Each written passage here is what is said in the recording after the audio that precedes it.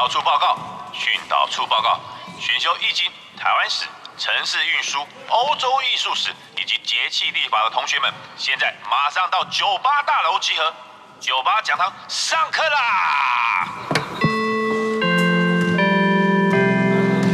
这里是九八新闻台 FM 九八点一，欢迎收听九八讲堂，我是郑志贵。我们上个月谈了一次卡拉瓦乔啊，那一次我们也大概谈了一下，有一部电影，其实是两部电影，贾曼的电影跟后来最近新编的 TV movie，四个小时改编成两个小时的这个电视电影，在台北的院线放过，大概在三四年前。那这两部电影都有一个倾向，就是卡拉瓦乔是一个浪子，是一个愤怒青年，是一个混迹于酒肆、呃风月场所。骗子、赌徒、呃扒手这些低下层的这个市井之间的一个很有才华的一个年轻人，他在他的故乡啊，米兰附近、隆巴底那个附近啊，来到罗马寻求他的这个机会，终于呢碰到收拾他的人了。呃，有一个重要的红衣主教叫做德蒙德，那这个主教呢就对他优容有加，那当然也受到他的故乡卡拉瓦乔。卡拉瓦乔这个地方的贵族啊的这个友情的关系啊，对他非常的照顾。可是这个卡拉瓦乔因为性格暴烈啊，常常带剑上街。在当时罗马有一些禁忌，例如说晚上女人不能出城，所以那些娼妓啊啊，可能就打扮成男人，画上胡子啊，出门躲过这个。这个戒严的那些夜间的警卫，他们的这个注目，那当然是睁一只眼闭一只眼。那这样子呢，所以他们暗地里有暗地里的生活。那甚至呢，除了军官以外，哈，有权有势的人可以带剑之外，一般人不能像卡拉瓦乔这样子一个火炮浪子也带剑上街。所以呢，他在罗马呢渐渐受到庇护，那但慢慢也恃宠而骄。然后他的个性又很火爆，那么混迹于这个事情已久啊，所以似乎还不能够。很自如地控制自己的情绪，虽然他有一些才艺呢，也画了一些作品，可是呢，我们只知道他在以圣马太的召唤、圣马太的寻难以及圣马太与天使这几件作品成名之前呢，他还不算是一个非常响亮的人物。我们只知道他脾气很暴烈。那我们今天就来谈这三件啊，其实都在同一件教堂的组画，其实这是两组画作。呃，有一组画作是大概是三百二十公分乘三百四十公分，接近方形啊，非常接近。它不是方形，那原来可能就是这个建筑上有两个这个墙面的这个尺寸呢，它它就有一点点接近方形，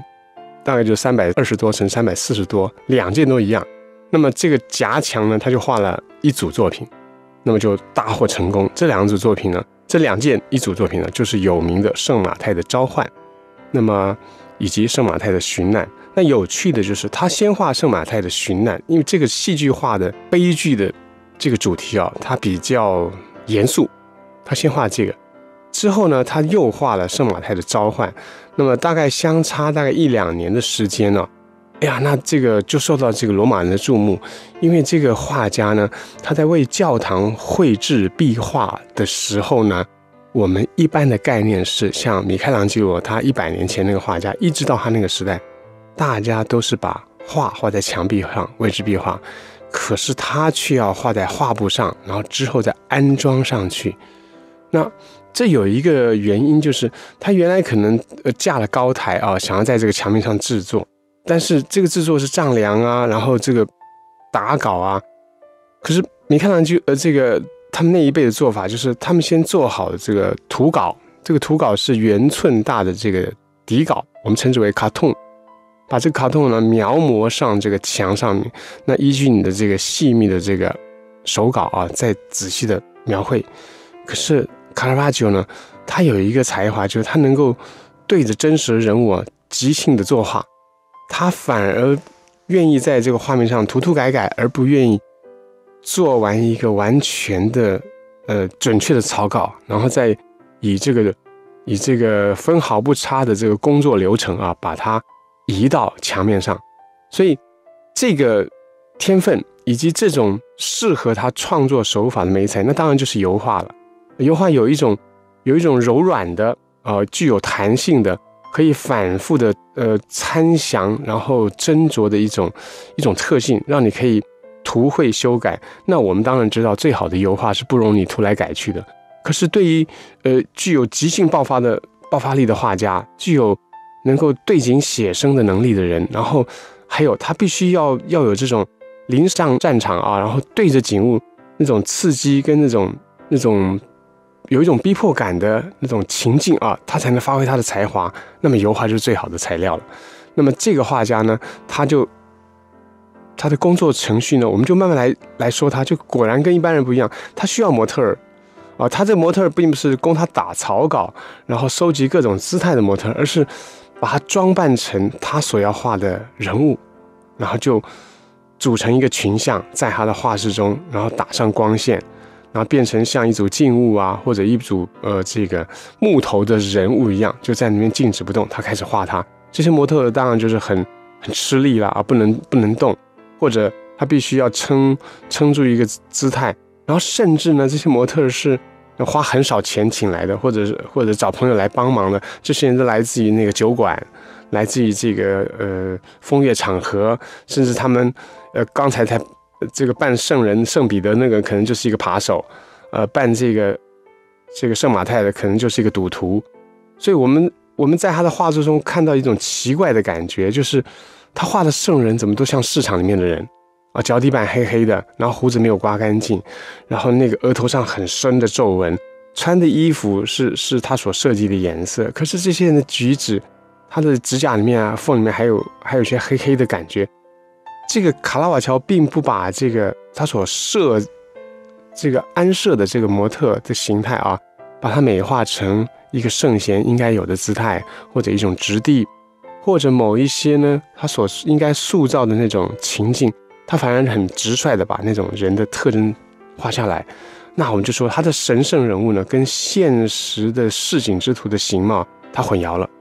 那这个混淆是他的画作是被批评的原因。那当然他在画作描绘这些人物的时候，他们的姿态啊，他们的这个动作呢，也往往从我们的生活经验出发，所以他们并不是那种。超然于现实中的那种高涛的姿态，而是你觉得很生动。但这个生动呢，一旦你觉得亲切感油然而生的时候，它的神圣感就慢慢的变淡，甚至荡然而无存。所以卡拉瓦乔的画作就出现了两种问题：一种问题就是说他的他他的描写能力很高超，然后很写实的把模特的那种形貌描写出来了。然后第二点就是他的人物的动作、姿态，甚至表情呢，他所显现的气质呢，渐渐远离了人们所塑造、画家所塑造、观众所期盼的那种神圣的气势。我们就觉得他变成一个，他把神圣宗教画变成风俗化了。但是呢，他又有这个后后面有支撑他的人，让他接到了一些一些大大小小案子、一些委托案。那么就以一五九九年啊，就这年动工的这个。这两件主画在在一个教堂里面有一个红衣主教啊，委托他做的。这个主教呢，他也很有趣。他呢，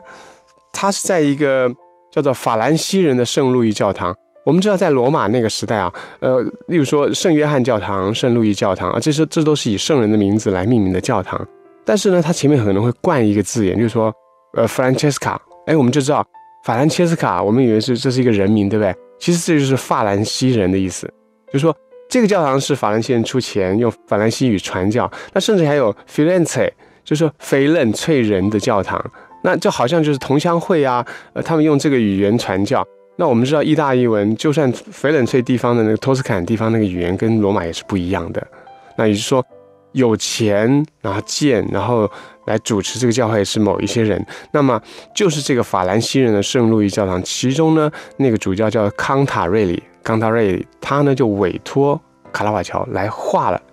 两张画，就分别是圣马太的召唤跟圣马太的寻难，真有趣。圣马太名字的原来的名字叫做立位，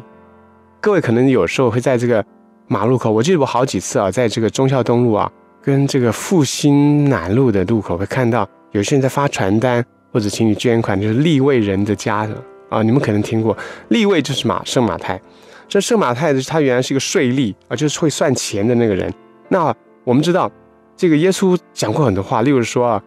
富人要进天国，比骆驼穿过针孔还难啊，或者说你们要像孩子一样才会上天国。他讲出很多这些话，让人家猛然警醒啊，让你因为什么身份过惯了你的生活，然后依依你的价值观来判定人生的，你已经僵化了。那他就给你脑袋敲一下，就说你你们这些人一天到晚在算钱，在在累积你人间的财富，你们永远上不了天国。那么他有一个有一个这个使徒呢，就是就是一个本来就是一个税吏，税吏就是专门算钱的，怎么样去收这个账？那卡拉瓦乔最棒的一张画，他的成名之作就是在一五九九年到一六零零年这一年之间画的，一两年之间画的这一张叫《圣马太的召唤》。那我们在这张画面，一张很方的一张画面上看到啊。这是很幽暗的一个场面，然后呢，画面的这个大部分都是黑色的，一个墙面很简单，然后呢，背景上关上了两扇窗，诶，这个很有趣，他可以画墙面就罢，他要干嘛要画窗户，又把它关上了，我们就会开始联想说，这是一扇关上的的窗，诶，有趣了啊，就是。就是窗关上了，你会想把它打开。那打开来会，我们会看见什么新的世界？会有什么样的这个事物会进来呢？那就在这个窗子的下面呢，就有一个方桌子，有一个人呢就坐中间。那么三个年轻人就围绕着他，其中有一个年轻人穿着这个很体面，他的模样啊，头上还戴了帽子，这个帽子上面还有一些羽毛哦，面目也非常的漂亮，很像是个富家公子，反正跟钱啊。是不差钱的这个这样的人家，其他的年轻人呢也打扮得很漂亮，还有这个画面正中央背对着我们，然后头呢就往右一撇，哎，看到这个右方呢有一扇窗户打开了，而这窗户就洒进一片光，这个光洒进来的方向是斜斜的，然后就是一个大概是倾斜的二十度往下洒洒下来，刚好照着这个桌子上面的人的脸上。那这些人呢，有的还低头在那边算钱，完全无顾这个，不管这个这个黑暗的场面已经被一道光哦所照亮了。那其他的人呢，呃，另外一个老人也也调整他的眼镜，端详着这个桌面上的钱。所以说，有数钱的人，也有仔细看着数钱的那个人。那么圣马太呢，就哎微微的把脸一转啊，向这个画面的这个右边，也就是他他的左边哦。我们这样讲，以我们的方向说，往右边这样。一看，有一个人呢，在这个阴影中啊，手指着他。那他旁边那个美貌的少年呢，头上戴的帽子很漂亮，还高高的有羽毛。那个少年也跟着他，所以两张脸就迎向了这个开开着的透进光线那个窗户，背对我们的这个这个年轻人也看向这个窗户，很有趣哦。看向窗户的这三个人头上都戴了帽子啊，就是说他们好像。好像是三个容貌上比较好看的人，那么看着这个帽子呢，那么原来我们就顺着这三个人的眼神就往画面右边看，哎，果然有一个人呢，他就手就伸着指着他，他说什么话呢？我们不知道，但是这个人的头上呢，他在阴影之中隐隐约透出半张脸的亮面，那头上有一道光环啊，他就是主耶稣，那么。在他旁边，随时他旁边有一个人背对我们啊，我们看不到他，可是他的头发很花白，我们就会猜那一定是圣彼得。耶稣常常出现的场合都有一个年纪比他大的一个一个使徒，那就是圣彼得。那这里面的人物呢？那那一群桌上算钱的人呢？中间呢一个中年男子啊，有一些胡子还蛮长，戴着帽子呢，还真蛮体面。算钱的税吏一定比较有钱啊，他就手就举起来啊，左手举起来就。看的那个顺着光线指着他，那那个那个光线那只手呢，好像就发出光一样，照在这个这个立位的脸上，然后立位就只是说说你在叫我吗？啊，就是这个姿态。那么这张画是宁静无声的，完全由光线的那一条线，那条线呢有多长呢？已经。从这个画面的右右边的这个三分之二个高度啊，一直斜向画面的正中央。我们以这个三百四十公分的宽度，这个斜线有超过一百八十公分，就完全是一条光跟影之间的一条斜线。它非常完整，然后也很长，它直直的、斜斜的啊，这样直接的指向圣马太的脸。圣马太有点疑惑，抬起头来说：“哦，你是叫我吗？你唤我吗？”这张画就是圣马太的召唤。这个召唤呢？他有很浅白的意思，说耶稣在叫他啊，立位，这个当出一个声音，可是我们在画面上听不到声音，我们看到是耶稣的眼神，以他伸出的那只手，这个手呢，在延伸的那个光线的那个斜斜的斜向他的坐在那边的那个脸庞的那一道光线，然后是这道光呢唤醒了他。那这个光呢，就是 inspiration，就是神启。我们说，在这个文艺复兴的时代，有很多的艺术家可以画耶稣了，画这个上帝了。可是更早以前呢，这个上帝是不可以画的，上帝不可以画。那那怎么上帝怎么能表达呢？大部分画家就用光来表达，光就是神奇，光就是就是上天，光就是代表一切的真理。所以当上帝出现的时候，他以一个光的形貌，那么让蒙昧的人看见了光，在黑暗的世界中，然后醒悟了一切。所以所以许许多多的宗教啊，它都需要一个。一个很很暗的环环境，然后再需要一个透入光的一个管道。这个光也许是彩色花窗啊，玫瑰花窗，可能是呢开了一扇窗的一道门，可能是从这个寺庙啊，或者是教堂顶端所照下的一束光。这个光也许会因因这个东西的方向会移动，但它所移动之处呢，你必须设计它，它会经过这个祭坛或者是其他的神圣的。金色的雕塑，让这个光所所照射之处，仿佛现出神迹般的那样令人赞叹。那在这些光所及之处呢，往往就是祭坛所在。那这两这两张画呢，我们刚刚谈的这个圣马太的召唤以及圣马太的寻难呢，它不在祭坛，它在一个教堂的侧边的小房间，我们称之为礼拜堂。也就是在这个教堂里面有好几个礼拜堂。这个礼拜堂的名称呢，就以委托卡拉瓦乔制作圣马太的召唤以及圣马太的寻难这两张画的这个红衣主教康塔瑞里来命名。所以这两张画画在法兰西人圣路易教堂的康塔瑞里礼拜堂里面。那么另外一张画，这个是画这个圣马太的殉难，其实是比较早先完成的。那张画很恐怖，他画的有一个刽子手，然后这个。精壮的身体啊，站在的画面中间，他仿佛成为男主角了。以这个卡拉瓦乔对于男性这个躯体的那种美丽的这种肉感、青春的那种偏好而言，他显然在画面上的这个形式上是以这个刽子手作为主题啊，作为主角。他手上拿着剑，在刺向这个圣马太的时候，圣马太呢倒在地上，穿着这个教袍，他的胸口已经。喷洒出血来了，然后天使呢，却在这个云的上端呢，向他递上一支棕榈叶。那这就像这个对于这个圣人的一个致敬。那么他在世间受难，是被杀殉难。可是呢，上天的上主看到了他，他的灵魂呢，他完成他的使命，他的灵魂呢就要被建引往上。那在这个混乱的人群中呢，我们无法一一细数人物的姿态啊，但是我们发现。所有人物因为这个这个残忍的场面呢，都往四方退开，所以中间就豁然清朗，变成一个以水平线躺在地面上，然后右手却被刽子手抓住，而刽子手却是一个直立的垂直的一个造型，就一直一横哦，然后非常的非常的坚硬的一个稳定的一个结构，在这个画面中间，然后被一束光线照得非常的明亮，甚至。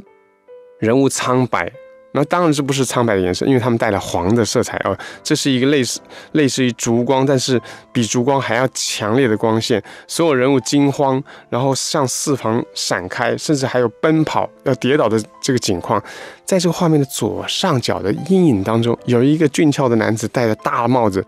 然后跳出的那个那个羽毛，他仿佛是这个在许许多多的这个群像当中都会出现类似一个。稍微冷静一点看好戏的那个人物，他可能就是卡拉瓦乔把自己的自画像画进去。那我们看到这两件画作，一个是呈现悲剧的，然后残暴的，然后许多人物惊慌的一个的一个殉难的场景；另外一个呢，是大家专心于做自己的事情，然后这投身一个世俗的事物，然后恍然之间被打开的一扇窗照入的一束光啊。猛然惊醒的那个受主召唤的那个情景，两张对话同样的尺寸，三百二十公分乘三百四十公分，在法兰西人圣路易教堂的康塔瑞礼拜堂。这两张画很值得上网或者找画册来对一对，因为呢，圣马太的召唤呢，它比较晚完成，可是这件画作一旦完成之后呢，来观赏这个画作人在教堂前面排队啊，络绎不绝。他真正的成名作就是这张《圣马太的召唤》。我们待会再来谈圣保罗跟圣彼得他们神圣的皈依信主以及钉刑的画作。在同一座教堂，法兰西人的圣路易教堂，还有一件非常动人的作品，就是这两件作品完成之后呢，卡拉瓦乔又受到了一个委托案。这个委托案是比较小件的作品，那它比较长啊，又是它比较高，它是呢，呃，两百九十五乘上一百九十五公分，大概呢就是刚刚那件作品的三分之二的宽度，但是很高，两百九十五公分。那么他画的是圣马太与天使，这个题材有趣了，他。原来画过一张，但是把这个画送去的时候被退件了，那他就很很不高兴。人家说你画的这个圣马太啊，头秃秃的，然后呢握着一个很厚的本子，然后在那边呃犹豫这个福音书要怎么写。结果天使呢就降下凡来，他的就垂下那个大大的翅膀，然后呢就勾搭着这个这个圣马太的肩膀，那他手指头就指着那个纸说：“你这样写那样写，给他灵感。”所以他这是 inspiration of angel。就是圣马太要写这个福音书的时候呢，天使给他带给他带来灵感，可是因为太亲昵了，然后太幽默，也太这个太生动了，这个圣人的神圣的感觉就变成这个市井之徒的那个苦恼的那个反应了。这张画当然被退了，他后来当然就很不高兴，但再画一张，这张再画的这个。圣马太的天使呢，就在一六零二年完成，就是在刚才那个圣马太的召唤与圣马太的殉难这一组画的两年之后完成。完成之后呢，哇，大家又欢迎的不得了。他开始把这个圣马太画成一个直立的，呃，高挑的一个一个构图。这个构图也是全面都几乎都是黑色的，从黑影中浮现一个身穿橘色外袍，然后大红色披巾的一个一个老老头子。这个老头子呢？满络腮的这个白胡子，然后光着头，然后在这个黑暗中，从这个头后方呢，引现一条很细但是非常爽利而准确的光环。在这个画面的上方有一个天使呢，他从上啊这个翩然而下，他下来的时候身上卷起那个白袍子啊，变成一个很大的漩涡，哎，很夸张。这个漩涡它。并没有惊扰的这个这整个氛围，而是让你觉得这个上面来的旋律仿佛呼应着这个圣马太身上着的这个大的后袍。那么圣马太呢，一只脚呃站着，一只脚左脚呢就靠在那个椅子上，还露出他的脚底板，然后脚是黑黑的，然后他呢就回头，手还拿着笔，在这个纸上面还在犹豫的时候，回头看着天上降下来这个天使。这天使很有趣啊，天使像是一个青少年。他是身上这个大白袍啊，变成这个螺旋形的转动，然后他就伸出左手来，然后右手就扳着指头，第一啊，第二啊，第三啊，你要写什么？你要写什么？然后他刚好扳到那个右手的大拇指跟食指握着左手的食指的时候，哎，就是大概第一啊，第二的那个逐项很具体的要跟他说什么事情呢？卡拉瓦丘又来了，他又把那个。那个生动啊，跟那种逼真的细节又表现得很具体了。通常啊，宗教画我们要的是一种象征性，要一种神圣感，要一种暗示，要一种譬喻。它呢就比较偏向于要有具体的动作，这个动作呢还是一个还是一个细节。但是呢，这张画也并不因此呢就让人家觉得就是太雕琢于细节，而反而在。整片的黑色的背景之中呢，有两个人物。这个人物一个是天使那个大翻转的白袍，一个是圣马太那个下垂的宽松而大片的红袍。就是黑色、红色跟白色三种颜色，他就创造了一个天使与圣人之间的一个一个紧密而孤独的空间。这个空间里面，他大胆的把纯粹的。最深沉的黑色铺满了画面，各位，这是一张祭坛的画，这要放在祭坛上面。所以，这样的一件画作，这样一种色彩，这样这种戏剧性的，它并不让人心情沉淀下来，然后，呃，升起一种崇高仰望的一种心思，反而带动你那种惊奇的，然后翻转的造型。而这种翻转造型又经由呢强烈的光线所投注在天使跟圣马太身上那种。那种明暗强烈的对照。我们上次也提过，这个名称叫做 chiaroscuro。chiaro 就是 clear，scuro 就是 obscure，就是 clear 跟 obscure 把它加起来就是暗跟亮。这一个字是明暗跟对照啊，明暗对照的一个意思。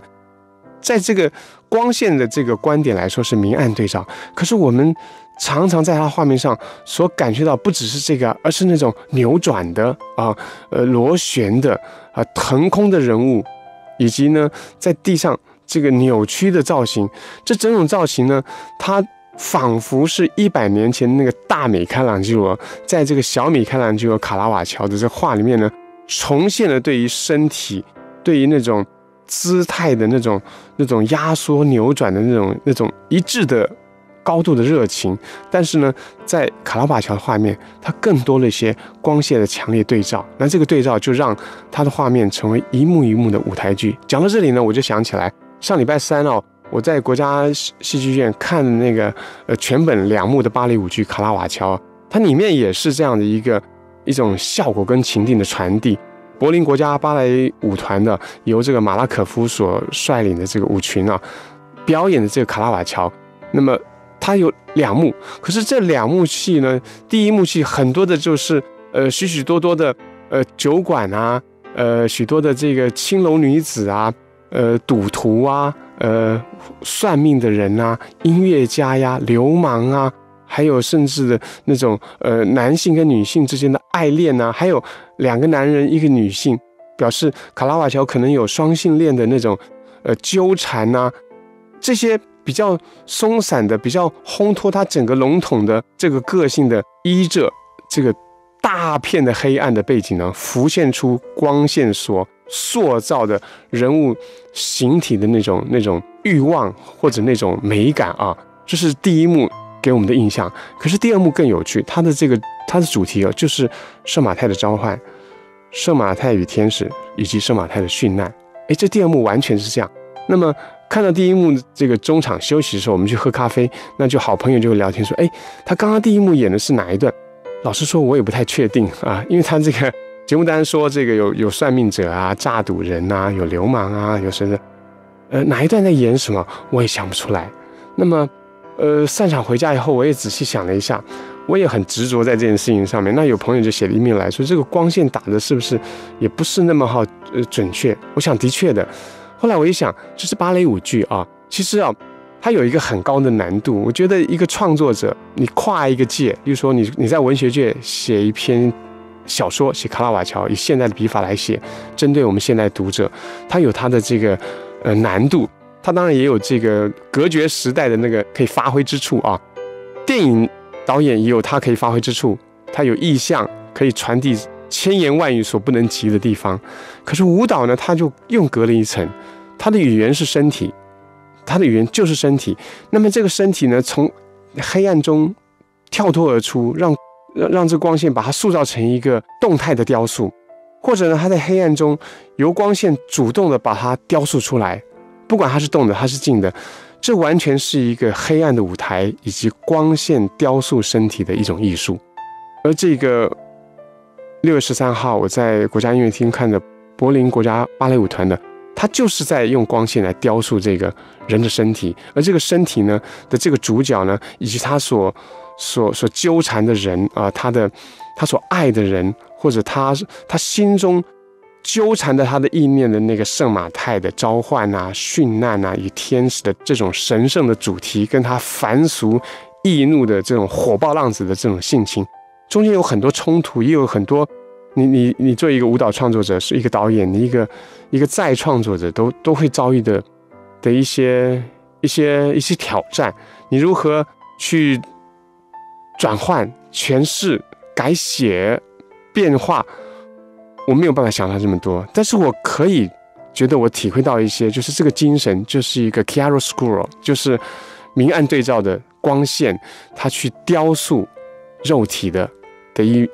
一出戏码。这个戏码呢，只要给我们以这个戏剧性的旋转的效果，以及光线的那种强烈的反差，它其实就达到卡拉瓦乔的精神了。我我从这点看，觉得我觉得这这这个表演实在是太动人了啊，太动人了，因为。有关于创作的细节，其实作为一个观众，其实不用想这么多。那就一个评论者啊，或者说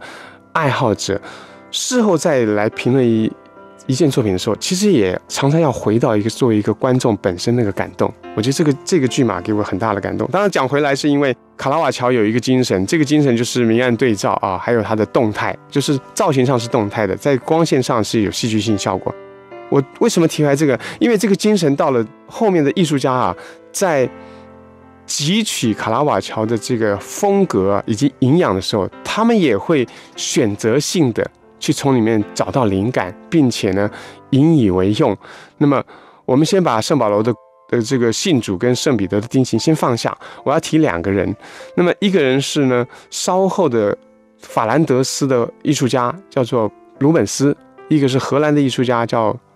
林布兰。这两个人都离卡拉瓦乔时代不远。而他们都是十七世纪的巴洛克的大师，但这两个大师呢，各取其一端。那么林布兰就取他的光线的强烈的对照效果，可是林布兰画几乎都是静态的，他不要动态。他甚至到了晚年，他这个把所有的色彩都把它抽离掉了，变成画作只有咖啡色调，少少的金黄色调，然后那种从年轻时候那种华丽的那种浓艳的色彩一一抽离了。所以，林布兰所从卡拉瓦乔里面所得到、所所紧紧抓住的，就是那个光线对照的那个强烈的效果。而这个鲁本斯不同啊，鲁本斯他要的是华丽的效果，他周旋于王公贵族之间，他成为画家中的王子，王子中的画家啊，他甚至负有这个外交的使命，他出入宫廷，他必须要以一种华丽高贵的这个形象啊，来展现他的才华，所以他的画作。绝对不可能掉入太过强烈而阴沉的那种，呃，林布兰式的或者更早的我们说卡拉瓦乔式的这种戏剧性效果。他要戏剧性效果，可他要他人物呢充满色彩、明艳的、华丽的、高贵的色彩。但是呢，强烈的旋转的效果他要。所以我们会从林布兰的画作中可以感觉到 chiaroscuro 就明暗对照法的那种那种凝重啊，跟跟深沉的那种效果。我们也从鲁本斯这边得到那种旋转的动能，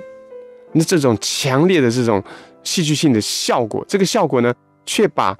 光影这个强烈的这个效果呢，把它打淡，然后添加代之以那种华丽高贵的色彩。这两者都是各取其卡拉瓦乔明暗对照法跟旋转的动态一端呢，然后成就自己艺术的大师。那我们待会再来谈。那其实呢，卡拉瓦乔这个人呢，他有很深沉的内在，这个内在当然也受着他骚动的灵魂所驱使啊，让他犯下很多错，然后闯下很多的这个麻烦。但是他这个动能呢，最终还是要回到画布上，让他做出了不可思议的杰作。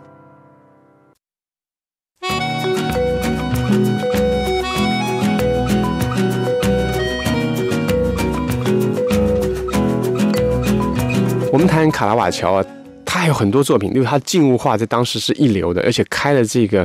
静物画的先河。我们不谈这个，我们谈他的这个呃很多的美丽的女子的肖像画啊，甚至那个朱蒂斯啊夜闯敌营啊，砍下那那个 Holofernes 的那个手机那样恐怖的画作，我们也不谈，我们只谈他的宗教画好了，因为我觉得跟他的人生有一大反差，形成一大反差。他在这个画完圣马太的这个系列作品之后呢，他又画了一些使徒的画作，例如说，马上就画了圣保罗的信主啊，以扫的信主，以及呢圣彼得的钉形。你看圣马太、圣保罗、圣彼得，他还会再去画圣约翰，所以他画这些圣人是是有是有一个一个企图心，把这些。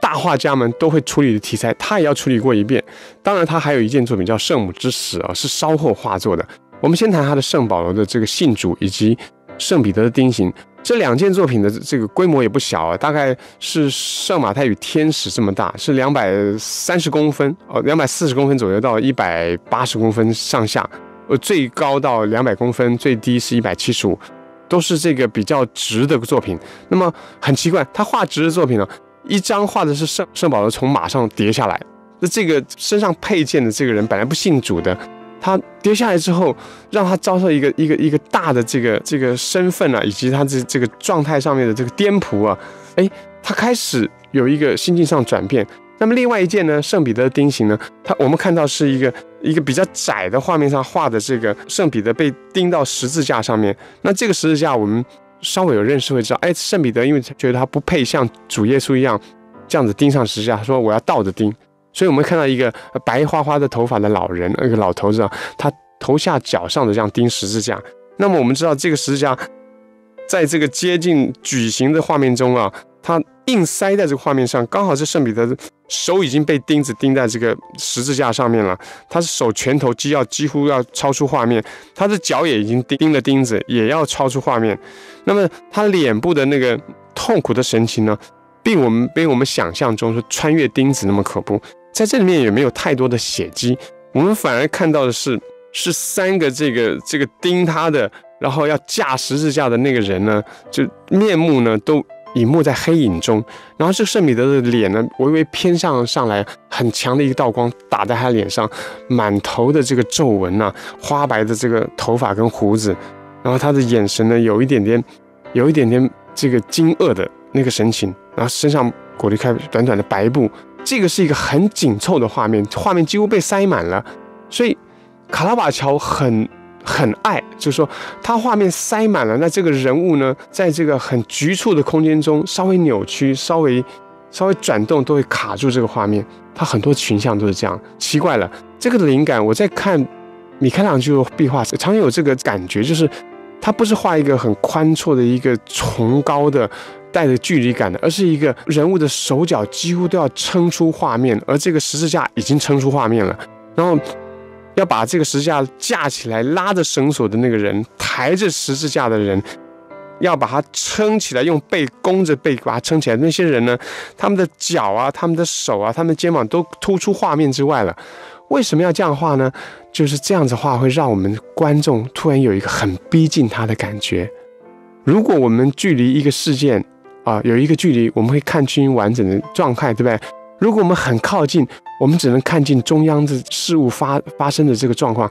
旁边我们就看不到了，因为它是超出我们的视线。这个卡拉瓦乔以这种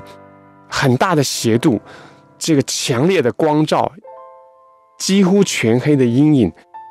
安置了在这个局促的空间中哦，塞满的人物跟形态，制造一个我们很接近这个事件现场的一个距离感。那事实上，我们可以反过来讲，就是把这个事件把它逼到我们眼前。那所以它产生的戏剧感呢，就不仅仅是这个翻转的啊，或者是那个扭扭曲的啊、旋螺的那个造型而已，而是那种构图的一再扩张，把形体都把它把它截去以后，然后往我们脸前推来的那个感觉，这也是一种戏剧感。那这种戏剧感更因为它的强烈的明暗的对照法而更得更强。那么，呃，圣彼得的这个。应该讲信主，因为我们有时候我们中文会把它翻译成皈依，皈依是一个佛教用语。应该讲这个以扫的信主啊，还有圣彼得的钉刑，就在一六零零年到一六六一一六零一年这两两年之间完成。那就紧接着在一六零零年，卡拉瓦乔完成圣马太召唤那张画时候，那之后呢，过了几年时间，我觉得有一件作品还非常值得一提，就是在罗浮宫的那一件叫做《圣母之死》，这件作品很大哟。它有三百六十九公分高，就是说比那个圣马太的召唤那个画作还要再高个三十公分啊，二三十公分。那宽有两百四十五公分，也是一样的宽度。所以等于是圣马太的召唤跟圣马太的寻难一样的宽度，但是更高三十公分。那么这个高三十公分，我们在这个罗浮宫前面看这件作品是觉得它是不必要高这么多的。为什么呢？因为画面上最顶端是一大块的红布垂下来，哎，很奇特。我们看见圣母呢。他已经死去了，啊，就躺在一个平面的床上，他身着红色的衣衫，那身旁围绕的使徒哦，都在那悲伤。在最前景呢，有一个女子穿着这个黄褐色的衣服啊，头上金黄色的头发结的辫子，非常之美。但这个女子我们看不到她的面貌，因为她是她在低头掩面而泣啊。这是我看过啊，